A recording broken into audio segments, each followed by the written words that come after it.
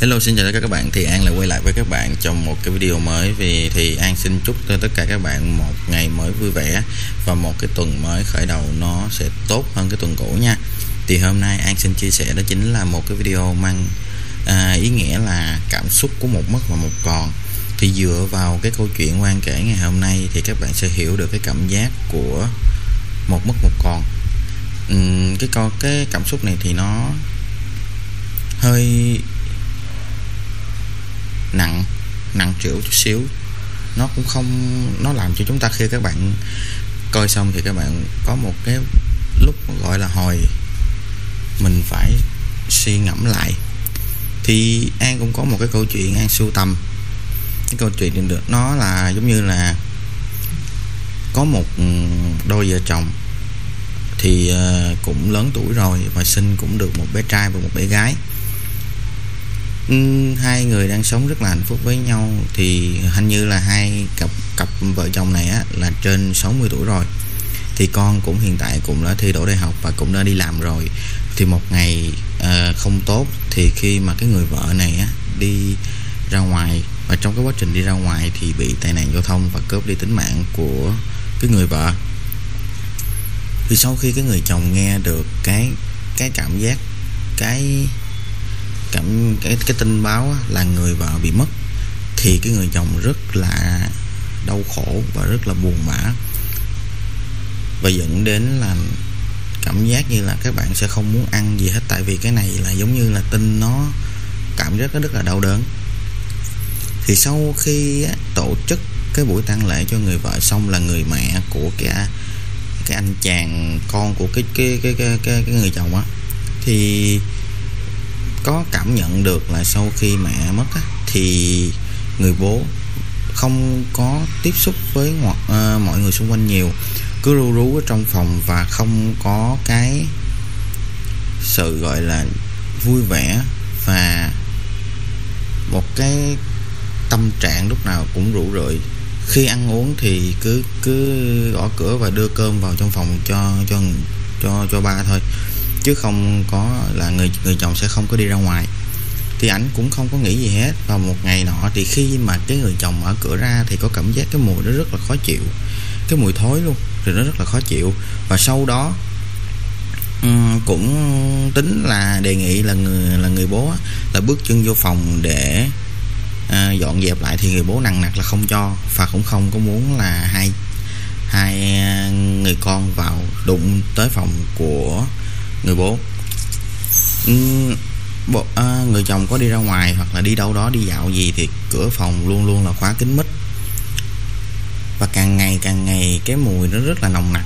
Cái mùi nó mùi là mùi thối thì các bạn cứ theo dõi hết. Các bạn cứ theo dõi đi thì an sẽ nói kết quả tại sao mà có cái mùi đó. Thì vào à, khoảng cỡ một ngày một thời gian sau thì cái người bố của cái anh chàng này mới mắc bị bệnh và giống như là không thể nào ấy, ừ, anh gõ cửa hoài mà người bố không có mở cửa. Thì ảnh mới xông vào. Thì cái mùi này càng ngày càng nồng nặc.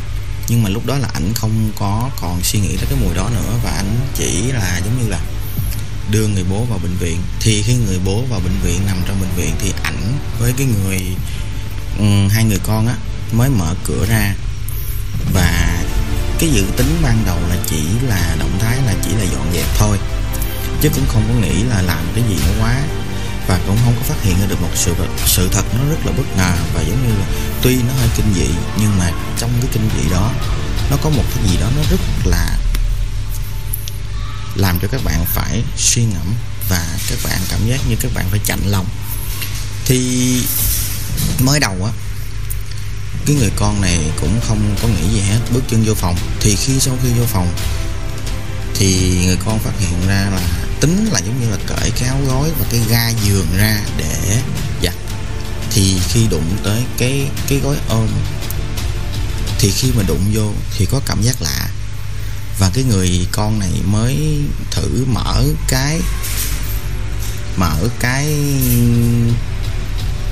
cái vỏ gói ôm này ra thì phát hiện là cái thi thể của người mẹ đã được người bố tiêm thuốc vào để ướp. Và lúc đó thì người, hai người con mới tá hỏa ra và cũng không biết là tại sao mà người bố này đã có thể mang được cái thi thể và bỏ trong cái gói. Là trong quá trình mà cái mùi thối nó bốc ra là do cái thi thể nó đang phân hủy. Thì nghe phần nó cũng hơi đậm đà một cái mùi vị gì đó của kinh dị thì các bạn cứ liên tưởng đi. À, rồi sau khi mà cái người con á cái người con trai mới chạy ra thì gia đình đó có hai người con là một người con gái và một người con trai. Thì khi người con trai chạy ra coi là cái hũ tro á, thì ở trong đó cái hũ tro nó chỉ là cái cái hũ không chứ không có cái tro của người mẹ. Thì mới lúc đó là ba chân bốn cẳng chạy vào bệnh viện và tìm người bố thì nói với người bố ơi là tại sao mà như vậy? Thì người bố mới hoảng hốt và giật luôn cái dây chuyền cái dịch truyền cái dây nước dịch ờ, cái dây chuyền nước á, ra và chạy thẳng một mạch về nhà. Thì người bố mới ôm cái thi thể của người mẹ khóc rất là rất là nhiều. Và cái người con cũng đã khuyên nhủ và có liên hệ với bên cảnh sát và bên y tế qua để ừ, tiến hành là mai táng lại cái cái cái cái cái thi thể của người mẹ. Thì các bạn thấy cái câu chuyện này nó có cái gì đó, nó một phần là kinh dị, nhưng mà các bạn phải suy ngẫm là cái cảm xúc và các bạn bị mất đi một người yêu thương nhất nó rất là đột ngột và làm cho các bạn bị đau đớn và dày vò. Thì qua cái câu chuyện này, An cũng có một cái thông điệp muốn gửi đến cho các bạn, đó chính là hãy trân trọng những giây phút mà chúng ta đang có với nhau. Ừ, để sau khi này khi mà khi các bạn không có được những giây phút đó thì các bạn cũng không bị hối tiếc và các bạn cũng cảm nhận được là nó yêu thương trọn vẹn. Rồi thì cái video hôm nay của An nó cũng ngắn gọn đến đây thôi. Và xin uh, chào tạm biệt và hẹn gặp lại các bạn trong một cái video khác.